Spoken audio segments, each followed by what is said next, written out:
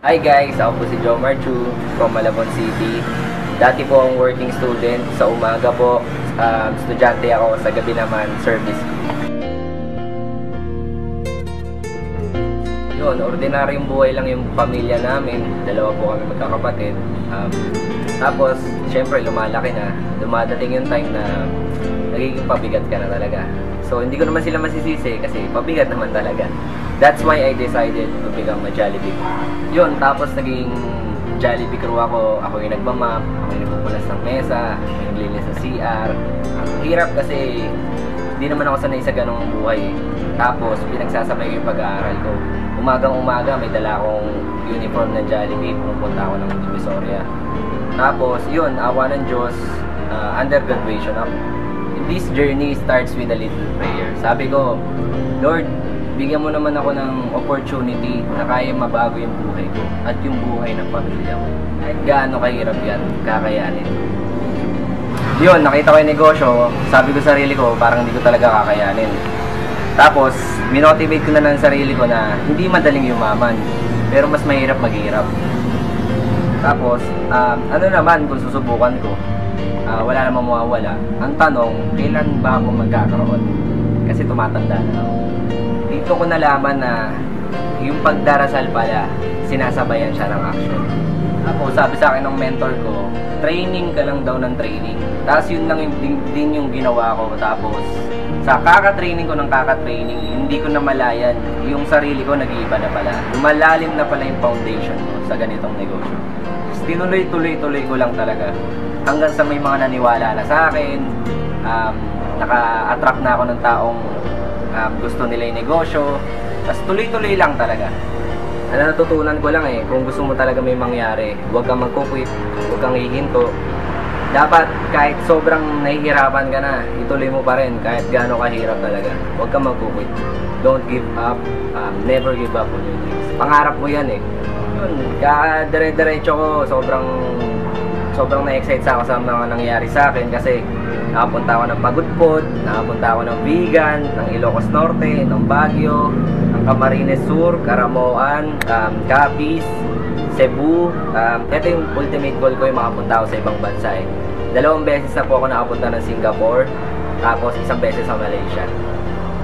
Tapos dito ko na-experience kumita ng 100,000 isang buwan dahil sa Alliance in Motion Global. Tapos this year alone, ang goal ko, pumunta ng Japan, uh, pumunta ng Cambodia, tsaka ng Indonesia. Tapos this year alone, dalawa sa, sa, sa downline ko na po yung maglalabas ng sasakyan. Tapos by next year, I'm sure na papasok ako sa top 40 ng AIM Global. Tapos dito ako na-excite kasi kakatuloy ko, kakatuloy-tuloy ko, kakakain ko ng rejection, kakadiscourage sa akin ng mga kaibigan ko lahat-lahat.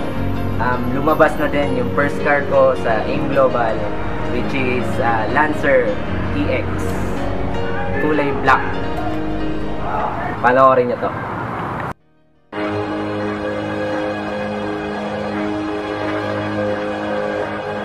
Sean Khalifa, man. Two chains. Money's the motivation, money's the conversation. You on vacation, we getting paid, so we on vacation. I did it for the fam.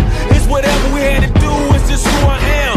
Yeah, it's the life I chose. Gunshots in the dark, one eye closed. And we got it cooking like a one eye stove. You can catch me kissing my girl with both eyes closed. Yeah, perfecting Grabe. we had to crash it. Plastic, we bout cash. I see some people ahead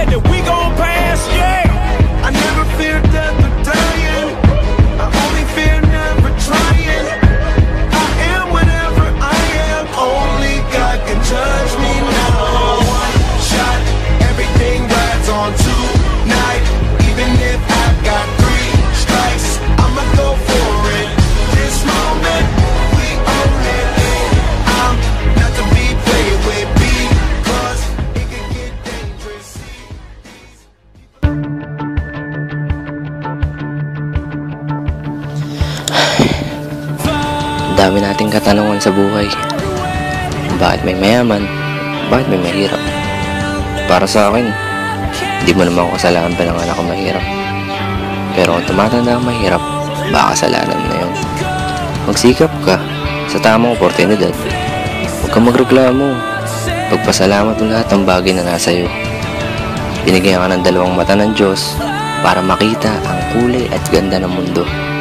Binigyan ka ng libreng hangin para lang hapin ang mapayapang buhay. Binigyan ka ng kamay at paa para maabot mo at mapuntahan mo ang iyong pangarap. Kailan mo papasalamatan yun?